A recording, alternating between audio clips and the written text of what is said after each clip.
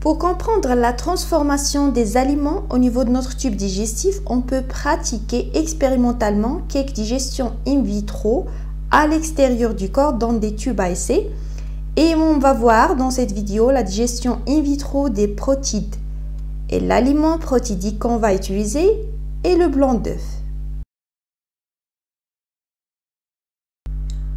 Pour réaliser cette expérience, on a devant nous deux tubes à essai.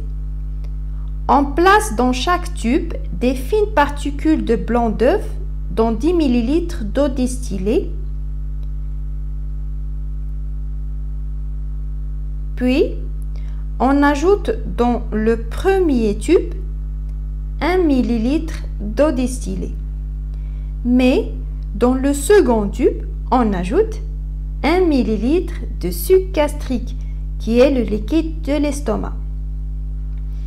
Ensuite, les deux tubes sont placés au bain-marie à 37 degrés Celsius, la température de notre corps. On observe la disparition progressive des particules de blanc d'œuf dans le tube B. Mais le contenu du tube A n'a pas changé d'aspect, alors que celui du tube B s'est éclairci au bout de 15 minutes. Donc, sans sucre gastrique, il ne se passe rien. Mais dans l'autre tube, le sucre gastrique a dessous le blanc d'œuf. Donc, le sucre gastrique est nécessaire à la digestion des protides. Le tube A est appelé tube témoin car à la fin de l'expérience, on a pu comparer les résultats dans les deux tubes et on a ainsi confirmé que le sucre gastrique est bien responsable de la digestion du blanc d'œuf.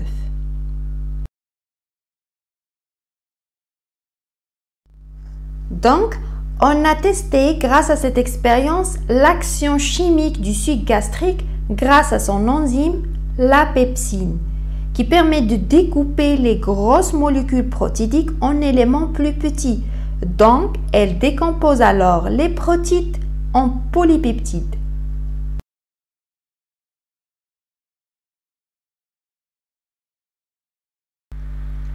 On va voir maintenant une autre expérience pour tester le rôle de l'action mécanique. Pour ça, on utilise des tailles différentes de blanc d'œuf. On met dans le tube C des grosses particules de blanc d'œuf dans 10 ml d'eau distillée et des fines particules de blanc d'œuf dans le tube D. Puis, on ajoute 1 ml de sucre gastrique dans les deux tubes à essai, toujours à 37 degrés Celsius.